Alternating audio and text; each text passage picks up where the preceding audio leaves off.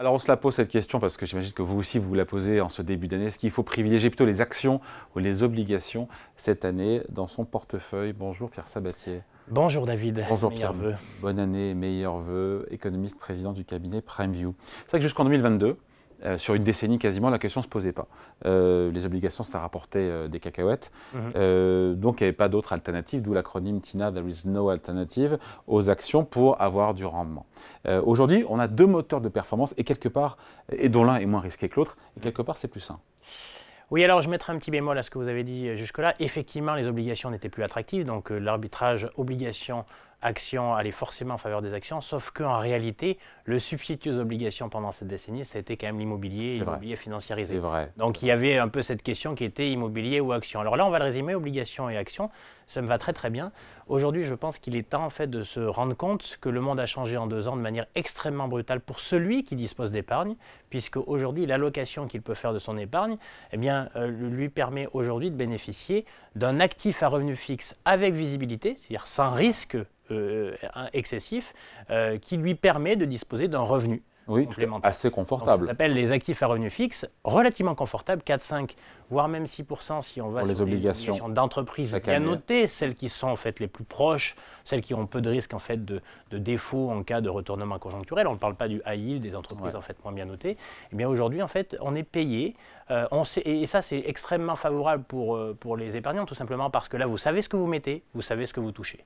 Et ça, ça a beaucoup de valeur. Pendant très longtemps, l'attractivité des obligations avait complètement disparu, donc ça servait à rien en fait d'en parler puisque mm. personne n'allait acheter en fait un papier. C'est bien beau la préservation du capital, mais si c'est pour ne rien toucher, bah, ça n'avait pas grand intérêt. Aujourd'hui, en fait, on a la préservation du capital optimale. Et je rappelle quand même que le métier en fait de celui qui investit l'épargne, c'est toujours répondre à ce double enjeu préservation optimale du capital accumulé. Aujourd'hui, on peut en fait le faire à travers la classe d'actifs obligataires. Est-ce que vous avez ou pas une préférence? Est-ce qu'il faut une préférence? Parce qu'on a, a, des actions je le, je, le, vois venir. Les actions sont déjà bien valorisées. D'ailleurs, on voit que le début d'année est compliqué et chahuté euh, euh, sur les marchés actions.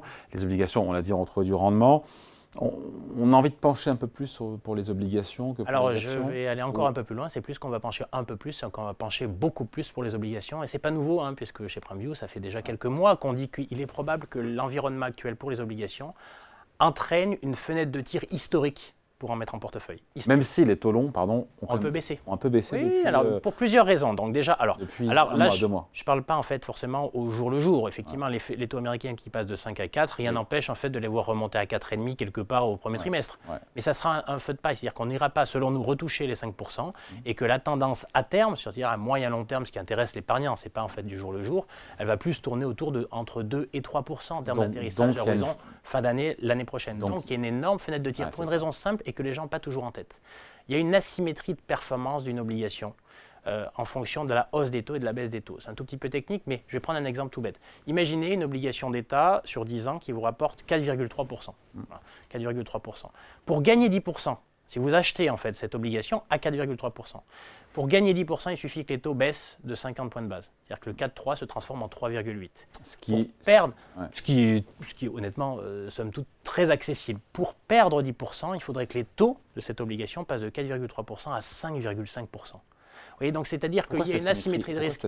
Parce que, euh, alors là, je ne vais pas pouvoir rentrer dans le détail en si peu de temps sur l'évaluation des obligations, mais la sensibilité du prix de l'obligation au niveau de taux d'intérêt et, et logarithmique et inversement proportionnel au niveau de taux. C'est-à-dire qu'en gros, il y a une forte sensibilité à la hausse des taux quand les taux sont très bas. Ah. et, une faible, et plus les taux montent, plus il y a une faible sensibilité en fait, à la hausse des taux. C'est-à-dire qu'en fait, une hausse des taux coûte de moins en moins en termes de valorisation de l'obligation concernée. Donc ça s'appelle une asymétrie des risques. C'est-à-dire qu'aujourd'hui, à vous, alors soit vous pensez que les taux remontent à 5,5, 6%, 7%, parce que vous pensez que l'inflation est là et rentre dans les tuyaux. Il faut pas y aller. Évidemment, il ne faut pas y aller. Mais si ce n'est pas le cas, et vous connaissez notre scénario central, ce n'est pas le cas, l'inflation qui rentre progressivement dans le rang, alors ce ne sera pas en ligne droite, mais elle rentrera dans le rang, euh, et bien ça amènera à fait, des niveaux de taux objectifs qui seront bien plus bas. Donc il y a vraiment une asymétrie. Aujourd'hui, le risque, c'est de ne pas y être plus que d'y être. Donc très clairement, sur les obligations, il n'y a pas de doute. Attention avec forte visibilité. Euh, il faut acheter des obligations, c'est-à-dire des émetteurs euh, pour lesquels il y a peu de risque de discontinuité de revenus, à savoir peu de risque de défaut.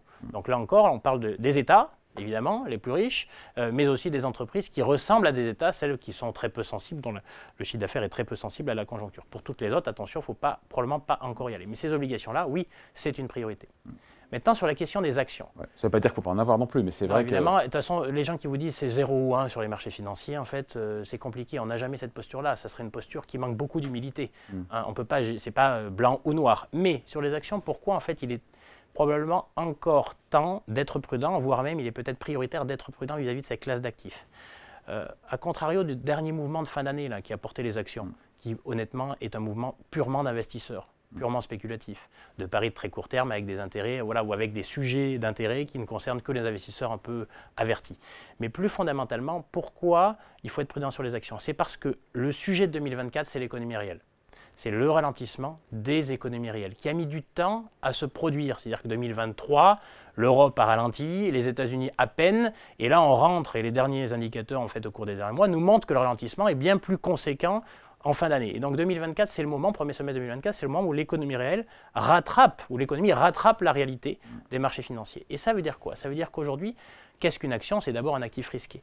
Et ce qui nous inquiète vis-à-vis des actions, c'est si les mauvaises nouvelles. Voilà, récession, ralentissement économique, amène baisse des bénéfices, mais surtout baisse des chiffres d'affaires. C'est-à-dire que jusqu'à maintenant, c'est les banques, c'est les établissements financiers qui ont porté le ralentissement. À savoir qu'elles ont continué de prêter, ce qui fait que les gens ont continué d'acheter. Donc il n'y a pas eu de dégradation des marges des entreprises à travers la baisse du chiffre d'affaires. Il y a eu dégradation des marges parce que les coûts de production étaient un peu plus élevés, mais pas par le chiffre d'affaires.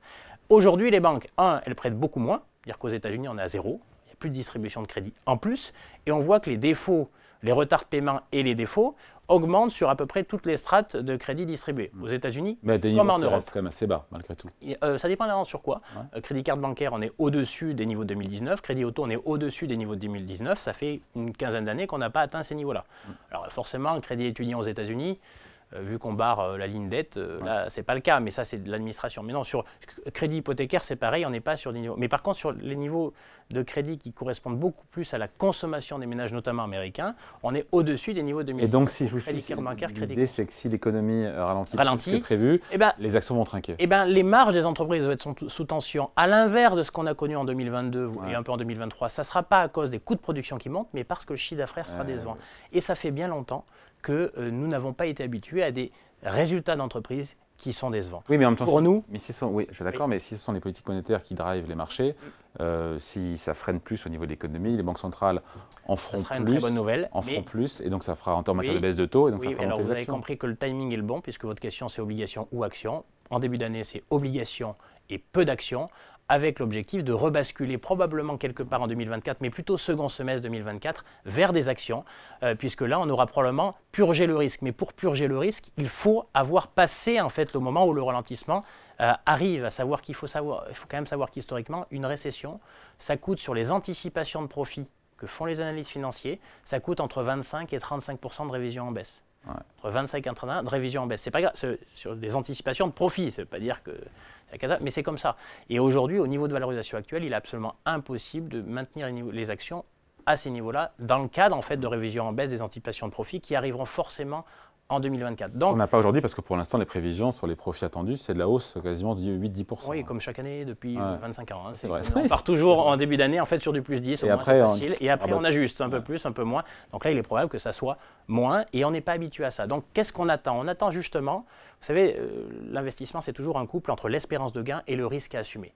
Aujourd'hui, ce qu'on estime, c'est que l'espérance de gain euh, et de génération de revenus pour les obligations versus le risque à assumer est tout à fait acceptable. Donc on peut déjà y aller. Et ça, c'est une très bonne nouvelle. Ça fait 15 ans que ce n'était pas arrivé. Sur les actions, le risque à assumer est aujourd'hui trop important euh, par rapport en fait à l'espérance de gain au regard des niveaux de valorisation actuels. Donc, surtout qu'en plus, encore aujourd'hui, on peut bénéficier en fait de taux courts, à savoir de monétaires qui rapportent. C'est-à-dire qu'on est payé pour attendre. Oui, mais ça ne dure, ça dure pas longtemps. Ça. ça durera pas longtemps, et donc, mais ça durera en fait le temps où les taux directeurs devront baisser. Mm. Et je vous l'ai déjà dit, euh, par ailleurs, le moment où on revient vraiment massivement sur les actions, ce n'est jamais proche du sommet des taux directeurs.